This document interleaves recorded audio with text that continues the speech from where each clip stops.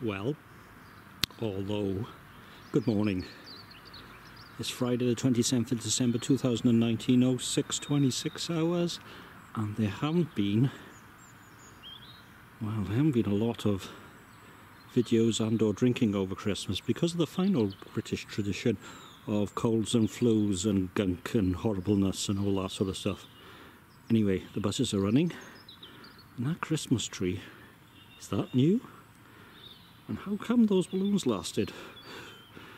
Anyway, Newport, Merry Christmas, post Merry Christmas, Happy New Year. And, and we're off. So, already been in the Queen's Hotel. Uh, lots of coffee, nothing really on there. Um, and now in the John Wallace Linton. So this is Old Man by the Longman Brewery, 4.3% alcohol by volume. It says coffee and chocolate. Kind of looks the colour. And it's course, Fresh Friday.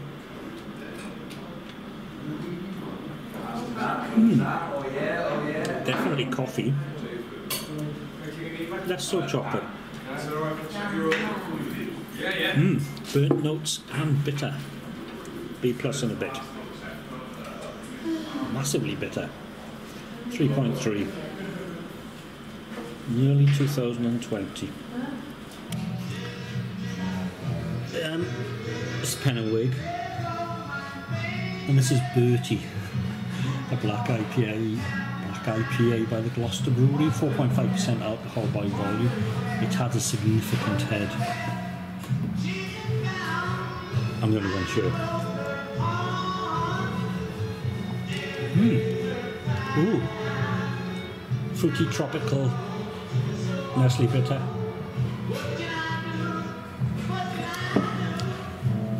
A hint of burnt notes as well. B plus and a bit. Uh, 3.3. I know I shouldn't because they don't buy anything. This is Beavertown Neck Oil, 4.3% alcohol by volume. Bit tree in the background. I'll go with the lava, oh, yeah. Anyway, it's cold. Um,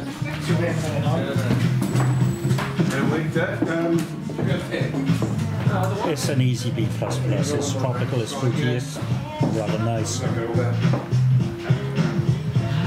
to go for 3.5. Tiny Rebel. And this is turning into the Glamorgan, Glamorgan This is Peter and Lucia Christmas Ale. 4% alcohol by volume. Three.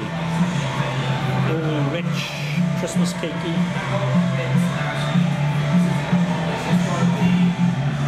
Wow. I don't know what that is, but B plus in a bit, 3.3.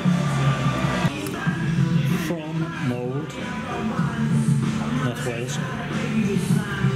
This is Polly's Brew Co. It Used to be Love Polly, 6.6% alcohol by volume Midas, a West Coast IPA. That's California, not Pembrokeshire, he says. Lovely fruity aroma, slightly tropical.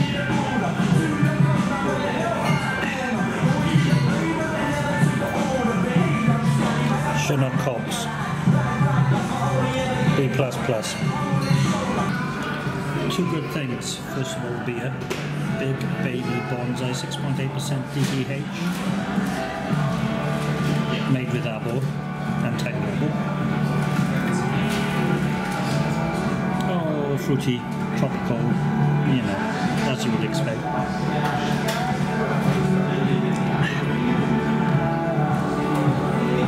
Spicy, D++. And the other big news, Christmas menu's gone, the non-Christmas menu's back on, the wings are back.